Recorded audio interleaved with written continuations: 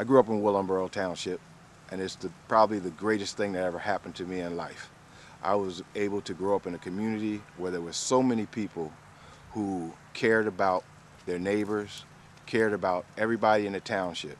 And through that environment, we were able to produce some of the most spectacular individuals that are in this country today. And the area of track and field was probably our centerpiece.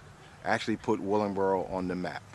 Uh, the Lewis family, the way they coached, the way they shared that coaching with so many other people, to me, they're the greatest coaches in the history of the world. You got your Tiger Woods, you got your Venus and Serena. Their parents developed them.